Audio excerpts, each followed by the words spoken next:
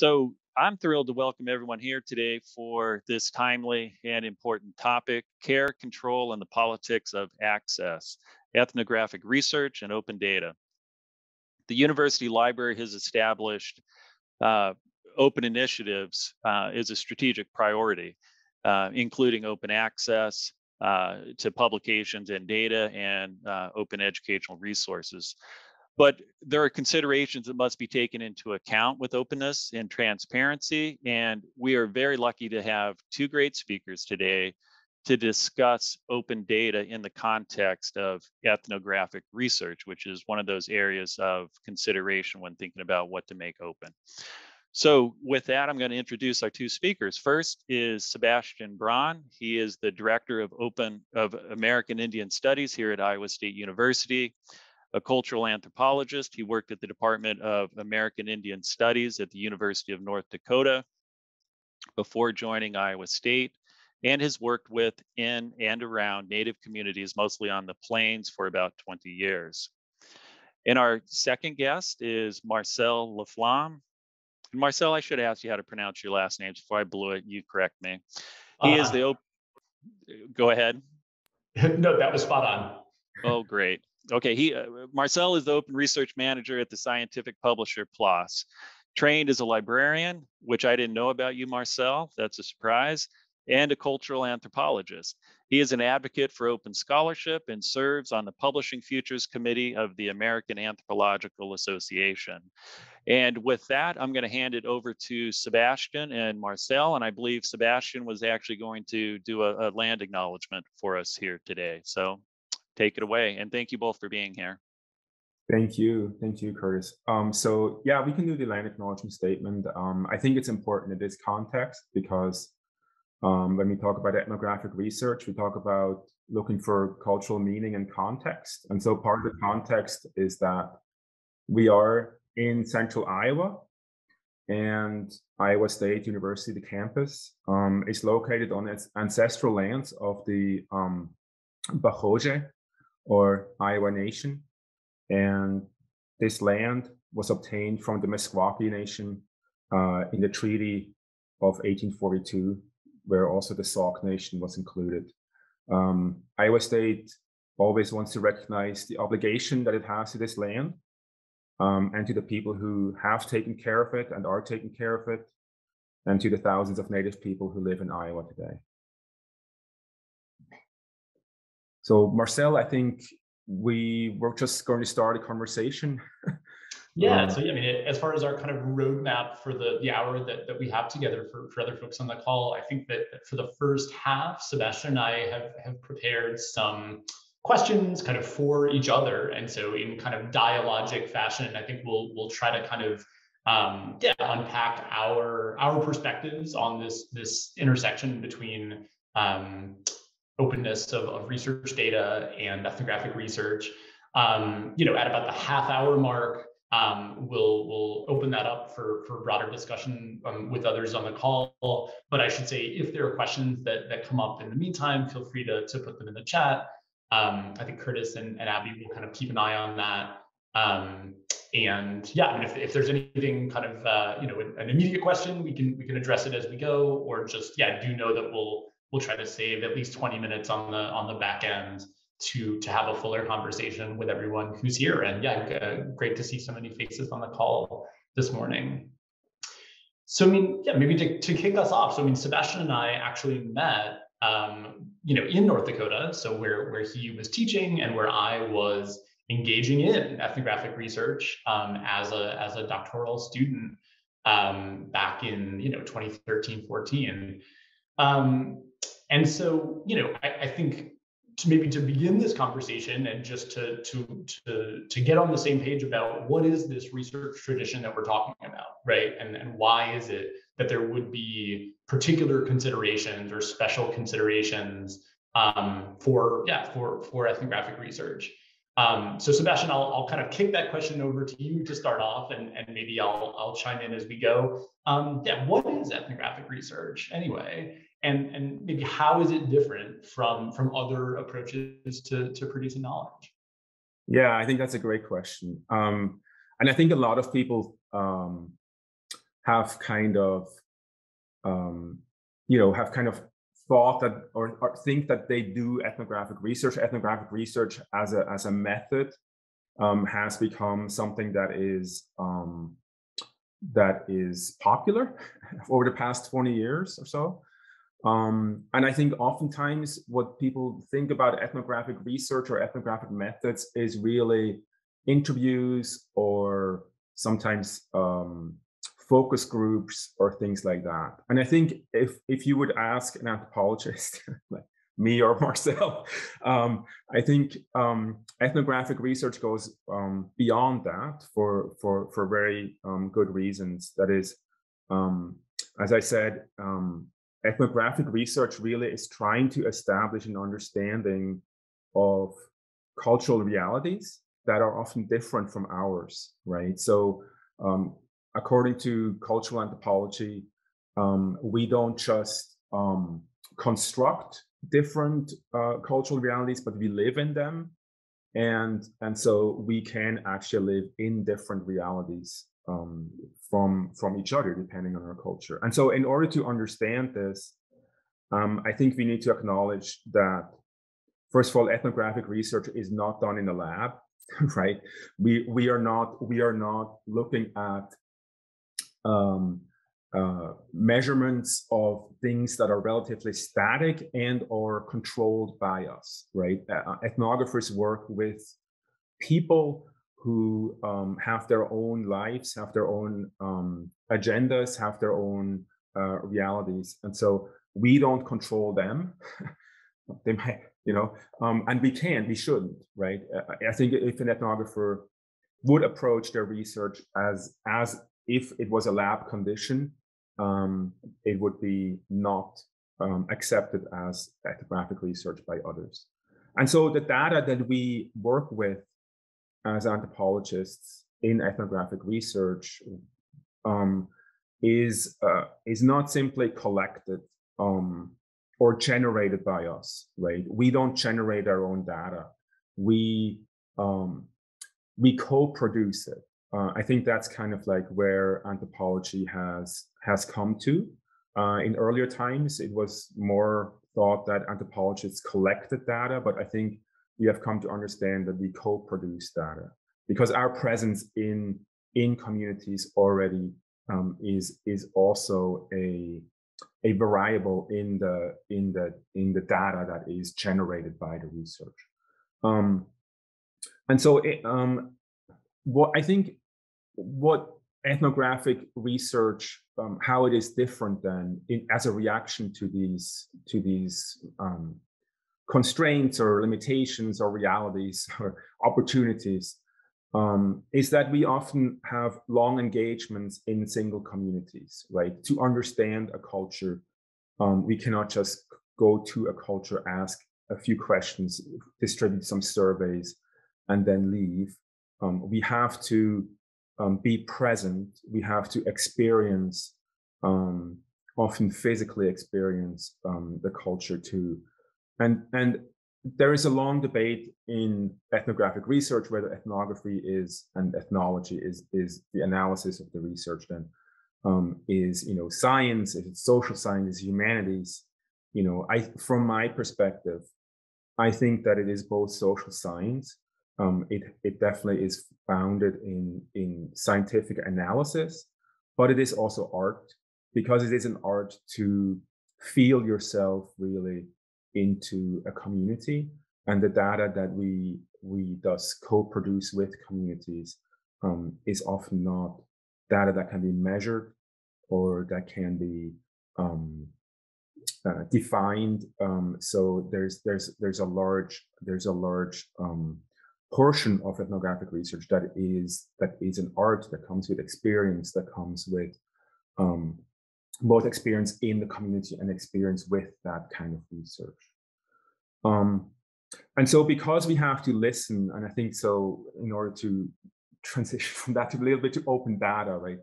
Um, because we have to listen to the people that we co-produce data with, um, there are certain kinds of data that ethnographic researchers are often not allowed to share, right? Um, because this is not a lab, um, we don't control the data, we don't control the people. Um, the people have the right to to say, well, this is our data, and based on historical experiences, often they do not want to share the data because it has been used by people in negative ways for the community. So there are. Go ahead for a second. I mean, is it fair to say that that you know, in my own training as an ethnographer and in my own writing as an ethnographer, there are times where even if there wasn't an explicit agreement in place with the community that that that you're studying, not to sort of discuss or describe an event or a, a you know a, a process that that when ethnographers write up their research you know, at least in how I was trained, there are, you know, there is a kind of selective presentation of data, which in other contexts might be called, you know, scientific misconduct, right? You're you're you're um, you know withholding data that would be relevant. Um, but yeah, I mean, there are times where you might choose not to write about something out Absolutely. of a sense of obligation for the to the community. I think you put the, I think this is really, you put the, the, finger on something really important, which is, you know, in the context, for example, of IRB. And, I, you know, I, I know you worked, for example, I know Marcel worked with drones and he worked a lot with, with, you know, on the Air Force Base, for example, in, in Grand Forks. And so, right, and, and I've worked with native communities. So there are different limitations on this, on, the, on, on what we can share, but I think the limitations are definitely there. So I think the art, you know, where I've described ethnographic research as art, I do think that there is an ethical constraint. Um, and I think maybe Marcel, you could talk a little bit about, you know, how, the difference between ethical constraints, which you, you know, and the formalization of that, for example, in IRB. And, and I think, because I think what you brought up is really important in open access. Yeah, definitely. Um, Right. I mean, I think again for folks on the call who may not um, be familiar with this with this terminology, or yeah, I mean, so so um, human subject research at a university, um, which is you know is interesting, right? I mean that that uh, doing a clinical study where you would you know trial a, a drug with a patient population and uh, you know, going to a native community to sit and engage in everyday life right? Both of those, although they're very different research endeavors, but both of those have, for the last 50 some years, been governed by this sort of formal process of institutional review at universities. So this IRB or Institutional Review Board um, that you know that that reviews research that is done, including ethnographic research, um, for you know the the sort of protection of the the human participants. Um, you know, in, in many ways, that's a that's a model. There's a great history of this, by the way, by a, a historian named Laura Stark called Behind Closed Doors that, that I'd really recommend. Um, but you know, in essence, that that formalization of ethics really comes out of a biomedical research tradition. Um, you know, and, and for good reason. And I mean, responding to some some really, you know, um, you know, horrific uh, examples of sort of research that that did not benefit the communities where, where it was taking place. Um, so you know those safeguards are there for a reason. Um, but I think you know ethnographic research also kind of sits uneasily within that kind of formalization of ethics or um, you know there's a piece about the sort of bureaucratization of ethics um, you know, that that that deals with things like consent forms, right? And so the idea for an ethnographer that every interaction that you have in a community that you're studying would be prefaced by sitting down to review and sign a consent form. You know, anyone who's engaged in ethnographic research will tell you that's not possible. Like that's not how social life works. Um, you know, that that's a construct that really that that that sits uneasily um, with what it means to do this kind of research. Um, but that is a point where you could imagine having a conversation about data sharing, right? And so I think in the sort of lab imaginary, right, that that moment of encounter with a consent form would be a great moment, right, to have a conversation about how the data will be shared and stored and, and what rights the you know the, the participant has with respect to it. Um, but yeah, I, I, think this is an area where how, how we you know how we take the spirit of that that people should know what's going to happen to the data that is being co-produced. And you know it's, it's important to to engage in a conversation with them about it. Um, but yeah whether the sort of um, proceduralized structures that we have to to do that um, are, are really adequate for for this kind of research i think is is a great question and I think it raises another question, which is also the question of anonymity, right? Because mm-hmm. because usually when we when we share, when you have open data, then you know, for several reasons, we say, well, the data should be anonymous because maybe maybe we you know we haven't talked with people about it, and that their identity should be anonymous. Um, and oftentimes, in my experience, co-producers, co-collaborators of, of, of my research, they don't want to be anonymous because they have a, they have a, a right in, for example, if you collect stories, they have a right in those stories. And and if you if you write them out of the story, so to say, right? If you write them out of the authorship, then that actually um, impinges on on their rights um, and on the context in which these things um, are told right? Um, so, but in, in terms of in terms of sharing data, Marcel, I, I am really curious about this. When you work with the military, right? When you work, including, you know, some things that maybe you can talk about, right? Um, how did you make that decision um, in terms of what what are you going to share? Yeah, so I mean, one constraint on that, and, and I'll plug um, the the archive of Open Scholar Cafe recordings, and I know a, a previous um, session that was done on sort of the you know review and disclosure of data and sort of processes for that at Iowa State um, before data can be shared. And so you know that actually was relevant in the case of my dissertation research um, because the you know the the technologies that the the drone pilots who I, I was working with um, were not active military, um, but the the platforms that they were were flying were dual use technology, right? They were in use by the military, um, and as a result, you know, in addition to my kind of ethical um, relationships with with my informants, um, you know, there were there were legal restrictions on the technical data about the, the, the drones themselves that could be shared. And you know, part of what I read about in my dissertation is the the quite scary briefing that you know that my informants would get, and because I was there, I was also the recipient of it. About you know, if you should share this technical data, you know the the sort of trouble that you will be in that that you do not want to find yourself in.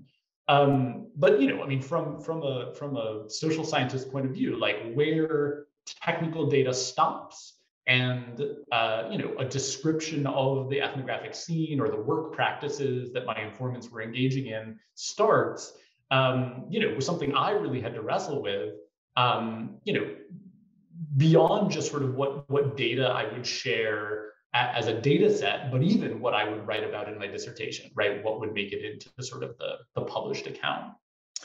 And you know, maybe what that that speaks to, I mean, to kind of put my, I'll take my anthropologist hat off for a minute and put my sort of um, you know, open scholarship advocate hat on. Um, that I think when we talk about open data, it's important to recognize the way that that conversation has changed I think, just in the last sort of five to, to 10 years. Um, because I think, you know, th- there's a version of the open data conversation that really takes a kind of maximalist perspective, right? That says that, um, you know, everything has to be shared in all cases. Um, and you know, even PLOS where I work. I mean, our sort of first stab at a data policy back in 2014. I mean, I think you know was maybe a little bit of a blunt instrument in that way. Um, and, and, you know, I, I think over the course of then kind of community consultation, sort of hearing about, okay, yes, you know, we, we want to promote data sharing um, and, and there's sort of an open science case to be made for that. But, you know, let's really think with research communities about what that looks like and you know what data can be shared and, and what can't um, so you know there's a, a phrase that I, I, did a postdoc in Europe and a, a, phrase that, that that EU documents will often use that folks on this call have probably heard is you know as open as possible as closed as necessary has sort of become a, a you know a motto that gets used. Um, and so, you know, the list of kind of exemptions to open data policies, including at scientific publishers like PLOS, um, you know, include things like um, privacy or confidentiality, include um, national security, which is you know relevant to the research that I was doing, um, intellectual property rights. Um, but I mean that list has grown over time, and so in the there's a you know important UNESCO recommendation on open science that came out last year, and you know on that list of exemptions are things like the protection of human rights, right? Um, sacred or secret indigenous knowledge is explicitly called out in that recommendation as a sort of protected category.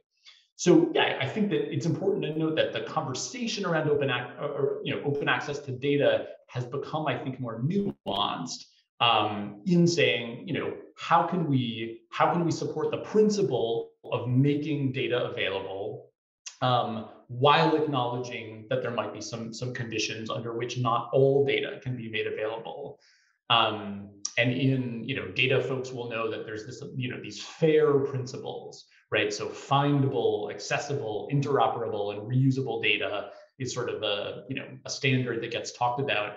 And it's interesting that their accessibility is not defined in terms of being totally open right? But accessibility means um, if it's not open how can it be accessed? And under what conditions can it be accessed right? So, so at the very least, let's let's be clear about what those conditions are, and let's not leave it to chance that you know I'm interested in Sebastian's research, so I write to him, and we know each other, so he's going to share his data. But if you know if someone else writes to Sebastian and you know they don't have that relationship, right? I mean, the, I think it's about sort of formalizing the, the sort of conditions of accessibility um, to a greater extent than, than has been done in the past. Although, I mean, sorry, like, because I think that's an interesting yeah. point, right? Because as you know, as an anthropologist in academia, right, this is exactly how it works, right? That that because and, and there's good reasons for it. I think there's good reasons for it actually. It's it's that um, and I think maybe it comes back to IRB and formalization, bureaucratization of of of, of um, you know consent and things like that. Because I think it's it's a very similar discussion, which is I share data with people that I trust to be trustworthy, right? Um, so as as uh, I mean, I, I think there's two decisions, right? One is a decision: what do I publish of the things that I know? What do I put out there to the public? And the second decision is of the things that I do not put out to the public, right? There might be certain things that I can trust some people with, but not everybody, right? And so if I I I I mean personally, and I mean personally as a professional, right? So maybe professionally, I am I would be very very uncomfortable with um with a standardization of what data um, I have to share with others um, without understanding or thinking that I understand whether I can trust them with that data, right? Um, so for example, um, I think sacred sites is a, is a great example with that, of that, right? Um, there are, if you if you do research in in native communities, you invariably um, get an understanding of certain sites that might hold particular meanings to people. Um, who I share that data with um, is is restricted by my ethics, um, and and by my ethics, I mean by my assessment of um, of who is trustworthy enough to guard that data themselves and not to make it public. Um, and, and I think that that there are there are good reasons for that, which you know are mostly linked to historical and contemporary abuse of knowing data, right? Um, uh, Can I ask the question? So if so, let, yeah, let's play out that hypothetical because I think it's it's yeah. an interesting one. Um, if you got such a request, have you in the past, or could you imagine also reaching out to your informants to to make that decision? Like, in other words, is that a decision that you, as the as the ethnographer, would make, or would you imagine that as sort of like a conversation with some set of community consultants that that would sort of guide what got disclosed and under what conditions? Um, I think it would depend. Um, so reaching out to people in communities, um, yes, um, especially to uh, understand um, whether they know the people um, and whether they trust them. I think that's that's a really important step um, because I'm obviously I'm not you know I'm not the guardian of the data. I I might be the recipient, but that doesn't mean that I have a right over the data, right? Um, I think eh, you know I there have been efforts in place um, since for about 10 years at least by by tribes by native nations to formalize this process. And and some of these efforts have led to formalizations like tribes own all ethnographic data that is generated on their territory or by their people um, which raises another set of really difficult questions to navigate right? Because we work often with underprivileged people in underprivileged communities but you know would i trust would i agree if so for example story county government would say all ethnographic data in story county is the property of story county government um, and at any time they have access to the interviews that i do with people in story county what if those people say something negative about you know the county commission or something? Um, and the county commission gets a hold of that that that raises a whole a whole other set of of ethical questions i think that that maybe are too much to discuss right now. No but, but i think that's I right think like really... like who is who is authorized to kind of make a decision on behalf of the community, right, about whether something gets shared or not is a tricky question, right? And, and, I think, you know, it, it again speaks to that kind of like what it means to do research in the wild and not sort of in a, in a lab-like context where, right, different, you know, different um, groups within a community have different sets of interests that, uh, you know, that cooperating with a researcher may advance right? Or, or you know, that, that having a stake in the data that is co-produced might advance. And, and you know, as Sebastian and I kind of prepared for this conversation, I mean, this is actually one area where um, you know there are these um, care principles for um, you know uh, indigenous for research with indigenous communities that have kind of emerged as a counterpoint to kind of very standard um, you know uh, data sharing practices and have, that have tried to kind of grapple with the specifics of research in native communities. Um, but, but, you know there's one so it's you know c-a-r-e it's another one of these acronyms. The a stands for authority to control. Um, but I think the example that Sebastian just gave kind of points to the, the trickiness of saying that you know a, a, community ought to have the authority to control its data because the question is well who though right? Like is that the tribal government is that the you know um, individual sort of tradition bearers? Like i think that the principle of um, community authority to control is an important one but but cashing that out in terms of sort of you know who gets consulted about sort of where and how broadly something is shared is actually quite complicated yeah, I think you know. I think it comes from a, an assumption that we often have when we, dominant society, about indigenous peoples, and we often have an assumption that indigenous people speak with one voice. Mm-hmm. You know, when obviously that is, how could that be? No community speaks with one voice, um, and it, it is an assumption that there's often, you know, there's the other assumption is that indigenous it kind of goes to the first one that indigenous governments always speak for the people, and and I think. Um, as I said, you know, if you look at our own governments, do we th- do we really does everybody in our communities think that the government has their interests, their individual interests at heart, and would we readily sign over our own uh, thoughts, our own um, ideas, our own data, if you want, right, in this context, our own data to the propriety of of our governments? And I think um, you know, um, if you do if you do research in Russia, um, for example, right? Um, you, I don't want to call out a specific country, but there are countries in the world where if you do research in the country, you basically have to sign over control of the data to that country, um, which controls what you can publish, what you should publish, and so on. And um, I think that um, there we have to have a discussion about individual ownership of individual data versus communal ownership of individual data versus which is different from each other.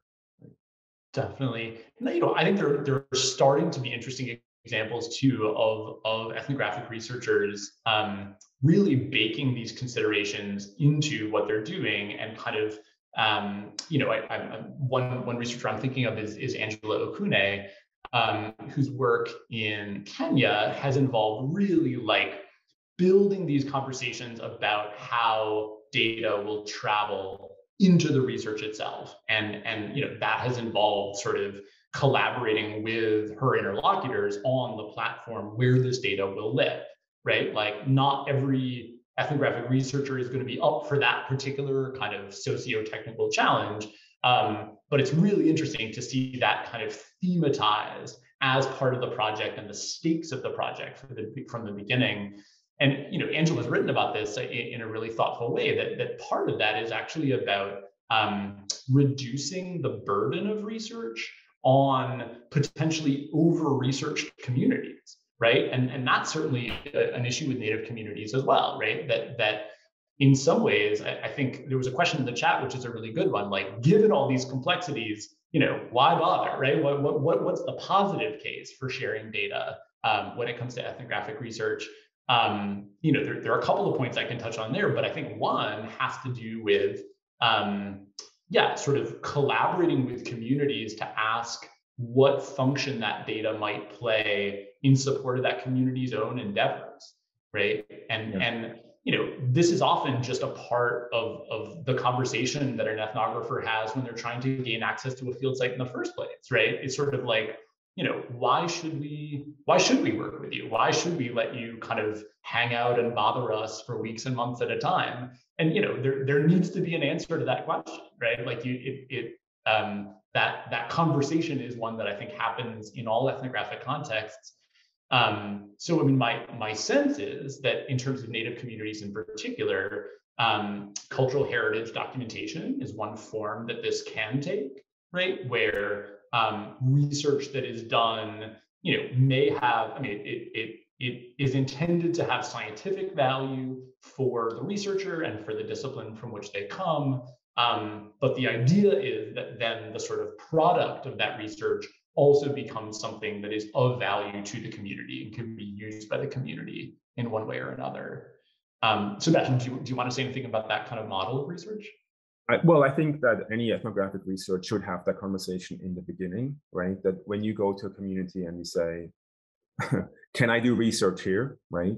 Um, this is what I'm going to do. Um, what can I do for you? What are the conditions that you will put on me um would, you know can i give what can i give back and i can you know just like so i had that conversation um with people that i just met it's very uncomfortable it, for you know it's it's a, it's a very uncomfortable conversation and therefore it's a good conversation to have mm-hmm. because it puts the researcher into the position of being uncomfortable and of having to ask um, that question, right? And the answer that I got, and I think that goes to somebody asked a question, Scott asked a question in the chat about what is lost with the kinds of restraints that we put on ourselves, right? If we if we not if we don't make all the data open.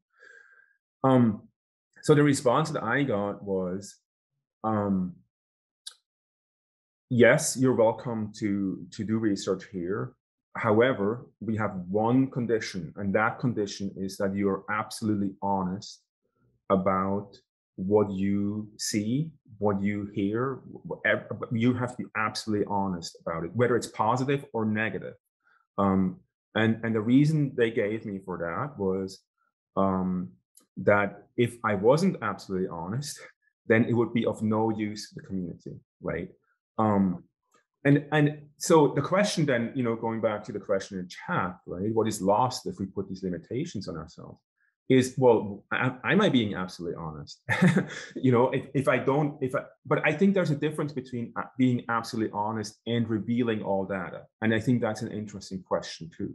Um, I mean, what is lost? Uh, uh, so the purpose of ethnographic research for me, and Marcel, maybe you can speak to it, you know, after, but um, the purpose of ethnographic research is not to lay open all the data that I collect. The purpose of ethnographic research is to gain a good understanding of the cultural reality that I need. And so what ethnographers have to ask their audience to do is at some point to trust them, right?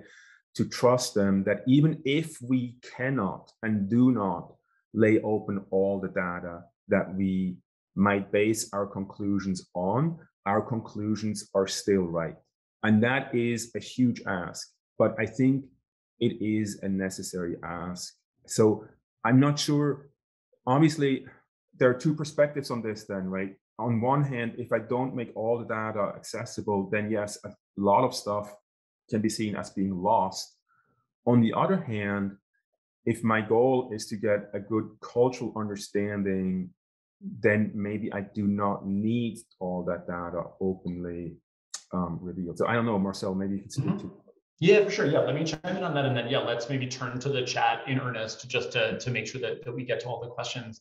Um, yeah, I mean, I, Sebastian, what you said about kind of you know um, trust and where that comes from, and I mean, there, there's a whole kind of you know in the in the 1980s this really rich um, you know, in some ways, almost like literary studies approach to, to, to, anthropology that asked, you know, how does ethnographic writing do that, right? How, how does ethnographic writing sort of um, stage these sort of appeals for the reader to trust them, right?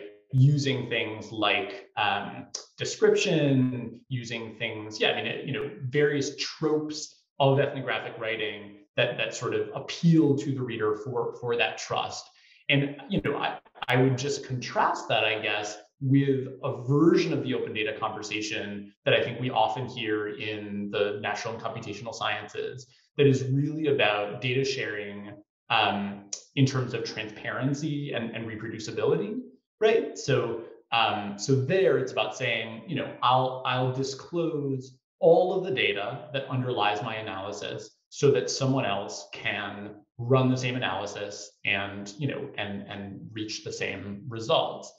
Um, and, and, i think you know ethnography could maybe you know I, I i would love to see ethnography move a little bit closer you know to, to that end of the continuum. But i guess i would say that like ethnography already has ways that it does that right? And so um you know that that that being reflexive about the researcher's positionality in the field and how you know if if sebastian had done my research uh, with the drone pilots or if i had done sebastian's research uh, with these tribal communities it would have been different research right and, and in that sense like we don't expect that our that our work is reproducible in that sense right like maybe how we analyze an interview could be reproducible if we sat down and agreed on our codes and this sort of thing. Um, but yeah, I, so I think like where trust comes from is, sort of one thing that's important to ask about across disciplinary lines. Um, and then just to go back to the point about, you know, what's the positive case for, for data sharing, just two other points I'll mention. I mean, one is preservation, and I think that's one that is often on ethnographers' minds. That's probably, you know, when ethnographers do share data, that's probably the one case in which uh, you know, that there is a disciplinary understanding that it's a good thing to do, right? And and usually in practice, when that happens, is that an ethnographer retires or passes away, right? And then their their sort of records, um, you know, get get passed on to uh, an institution like a library and archive, sometimes with a good plan in place, often not with a good plan in place. Um, but so you know, I think that preservation impulse is actually one that ethnographers in my experience, think about to a greater extent, maybe than than folks in the natural or, or computational sciences. That kind of long-term preservation. Um, and then just the other thing I'll plug because it's sort of my my hobby horse is, sort of about reuse, right? So from my perspective in ethnography, I'm not so interested in reproducing Sebastian's results, right? In kind of taking his field notes and going through them and seeing if I come up with the same conclusions. Um, but I might find it interesting to engage with Sebastian's field notes or interviews and to see if I could put a different set of questions to them, right? If I could use them to to ask, yeah, to to you know that that if the questions I'm asking are different than Sebastian's questions, the reality is that ethnographers collect more data than we can report on in, in one study or even in a series of studies, right? That there, there's writing about that sort of the excessiveness of ethnographic data collection and then figuring out the different pieces that sort of add up to, to the argument that the ethnographer makes. Um, I'm convinced that there is value in that excessiveness and that there are opportunities for reusing that sort of, you know, that that the, you know, the, the data that doesn't make it into Sebastian's book, right, for another purpose. And I think that that, you know, for me, one exciting case for data sharing in ethnography is figuring out ways to facilitate that kind of, of reuse, of, sort of abductive reuse, rather than kind of reproducibility minded reuse. Um, I don't know. Should we? I mean, um, Curtis, Abby, would you mind kind of moderating the questions a little bit and maybe um, yeah posing them? Yep, yep, no problem with that. Um, so we had one. Our, our first one was from Richard, um, and he has a little bit of a lead up to it. But he says, knowing that not all societies have the same value of proprietary ownership, how do we avoid projecting Western values of ownership and control into this space? and honor the values of these communities. And then there's a second piece onto that. And, and Richard, if you want to elaborate, and I think anybody on here, we're a small enough group. If anybody wants to just uh, read out your own questions, we go through these. Please do. I don't have to. I don't have to narrate. But but you want to start with that one, Marcel? Yeah, sure. Um, yeah, I mean, maybe I'll, I'll share one resource in the chat here um, that I think um, builds on something that, that Sebastian was saying uh, earlier, which is right, this kind of default assumption that de-identification, anonymization um, is, is how we honor the sensitivity of data, right? And then in a sense, that's a one size fits all suitable solution to the kind of problem of the way that, um, you know, that, that the data that ethnographic research um, you know, uh, um, that, that is produced out of ethnographic research could cause harms, right? So, so a one size fits all solution would be to say everything needs to be de-identified. Um, and you know, I think there's there's both some some nice work that I've seen out of sociology just about like, is that even realistic in a world where everything is a Google search away, right? And where I think like our efforts to de-identify things um, you know, it, it's just harder to do that today than it was at, you know, at, at, at the moment where the ethnographic method was really kind of cemented in the early 20th century. Um, but yeah, also I think what Richard's question speaks to, and, and Sebastian, what you started to talk about, right? What if you're doing research with cultural producers, right? For whom their identity, their brand, their um, yeah, I mean, the, you know, their their the singularity of their role as a tradition bearer is is tied up with what they're sort of choosing to share. Um, and for that matter like what happens when the interlocutor you know shares something in the context of an interview which we might be super careful about de-identifying and sharing in a particular way you know and then does like the youtube workshop where they say many of the same things, right? And, and which is sort of mediatized on purpose as part of their cultural practice, right? So I, I think that's one place where, yeah, there's some maybe outdated thinking um, that, that I think sometimes kind of, um, or yes, some, some baggage of how ethnographers sometimes can still imagine themselves as the guardians of or the you know the custodians of work uh, you know of data that they're uniquely positioned to protect right and i just think like the we live in in kind of a a leakier world today um, when, when it comes to data flows and knowledge flows than the one that we did when that um, yeah when that understanding came about. I I I I think that's just let me just add some things here because I I, to, I I mostly agree. Um, I think that um, I think there might be two today in this, you know, as you said in YouTube, and you know, all the people that we work with are obviously um, present in in in many more ways than through anthropologists, right? And have always been. I think that's important to say. Have always been. It was it was an anthropological illusion to to have to be in that position. I think always, but I do think that there are two different kinds of data in a way. There there are data today that are widely shared, um, that are accessible on YouTube in workshops and so on. And there are data still that are not. Um, there are data that are held. Um, you know, the question. What I, I, think the question also went to like different um, different understandings of proprietary um, data, right? So there are stories, for example, that are the possession of specific families um, and um, and only only people who have the right to those stories can share them. Um, there are story there are ceremonies um, that are the possession of specific um, people in in certain societies.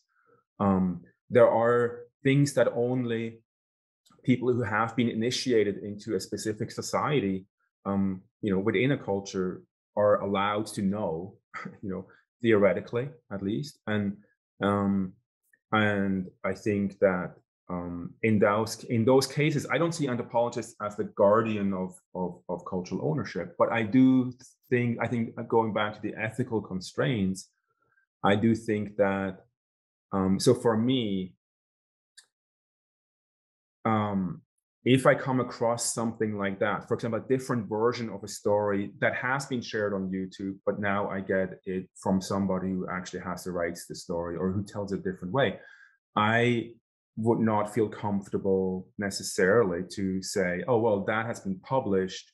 So I can use that and then point out the differences in the publication or share that data, like, but this person told me a different story, right? So I think um, I think the way that we that we have to deal with it is we have to understand the the cultural ownership practices uh, mm-hmm. for, you know first and foremost, and and then and then abide by them because um, I, I, think the way to avoid, in other words, the the imposition of our own ownership practices on others um, is to abide by those others. Although, as I say that now, I feel a little bit uncomfortable about putting it out like that, hundred percent um, well, I mean, yeah, I, maybe I would build on that and say like it, it's also about treating those um, those those prohibitions or those limitations as data itself, right? And so I think you know maybe that speaks to, to Scott's question a little bit about you know what is lost with with the kinds of restraints that are that are there.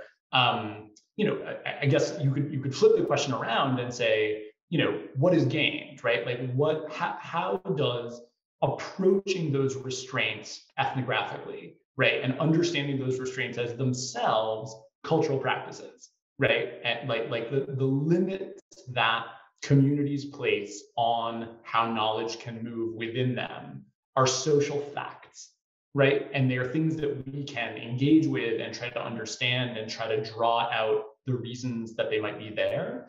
And so, you know, it does mean having to live with uh, an incomplete picture, right, of of sort of a, a, you know a community or a society. And I think you know ethnographers have have developed a comfort level with that over time, right? That the fantasy of having sort of an X-ray of a you know of a of a community, you know that that doesn't that doesn't tend to be the stakes of ethnographic research.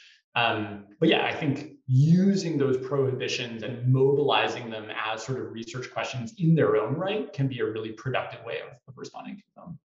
Yeah, I think you know to be really nerdy here. okay, um, Claude Lévi-Strauss, uh, one of the ancestors in, in in anthropology, you know, said that anthropology is basically positioned between Marxism and Buddhism, and and both Marxism and Buddhism achieve the same thing. And so, you know, I think going back to what you said, you know, we can either lift all the all the veils of the fetishes you know, as Marx asks us to do, you know, and and like try to like go to every single detail to to to really get an X-ray of society, right? That's one approach um, in the extreme. And then the other approach would be to write haikus. And I, you know, I've often said like the best anthropology would be a three-line haiku because because if it if it captures the if it captures the essence of a culture, what more do you want? You know, but the problem with that approach is that if if you don't get it, right? If you don't get it, um, then um, then it's for nothing. And so I think I think there's a constant dialogue, and I, I think I feel like what we've just done in this conversation is really kind of navigate this constant dialogue between the two approaches, right? Um, and I, I, I, I think what makes me uneasy about formalizing these things is that, um, from my perspective, a lot of these things are situational, right? That that it is an ethics, a situational ethics that I that I apply to what I share, to what I don't share, and a really and these situations change context changes and and i think that's you know yeah i mean so do there, you think that oh go ahead. Marcel i, I was going to there is a question here i think which kind of gets at this you know with all of this nuance you know a, a way of perhaps formalizing this. So megan asked are data use agreements common in anthropology and ethnographic research? Because that is a way of somewhat you know, maybe not necessarily bureaucratizing it, but formalizing it in a way, um, you know, before the data is even collected. Definitely. Yeah. Sebastian, I'm curious, have, have you ever sort of drawn something like that up with the research that you've done with, with tribal communities? I, yes, but not on paper. Mm-hmm. um, so yeah i mean yeah it, got, it gets back to the point right um if like in my experience and there are people who have different experiences but in my experience the way that i do research if i walk into a tribal community or if i walk up to a tribal member um, or even to a rural non-native person um, and i say before i can talk to you sign this. Um, we need to agree on on how our data can be shared. That conversation is over.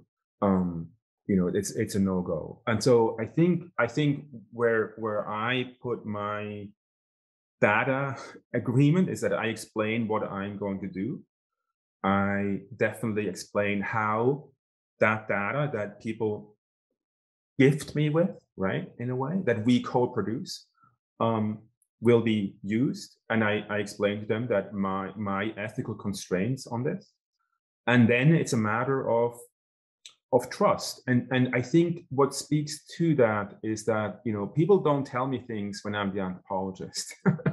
You know if if if when as long as i'm the anthropologist people are, are are uneasy about sharing things because who wants to spill out all their knowledge to somebody who's you know doing research on them when people tell me stuff is when i'm sebastian and so um there's a, there's an additional ethical layer there right that i have to be professional even when I'm when I'm no longer seen as a professional, but as a person, right? And I think that speaks to a whole other layer of difficulties in doing ethnographic research.